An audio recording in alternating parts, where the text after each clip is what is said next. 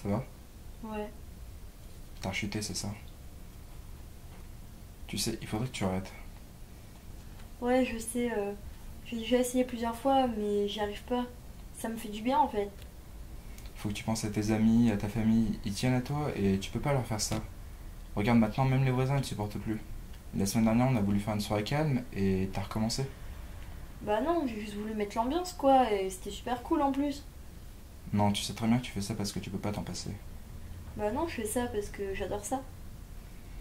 C'est dangereux pour toi, c'est dangereux pour tes poumons. C'est vraiment l'image que tu veux donner à tes enfants? Il faut que t'arrêtes. Ouais, je sais, mais euh, t'inquiète, euh, je vais arrêter. Promis, je vais arrêter. Fais-toi aider, des solutions existent. C'est une vraie addiction.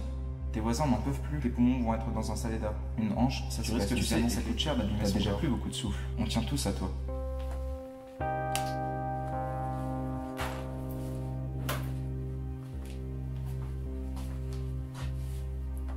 Bon allez, c'est la dernière fois.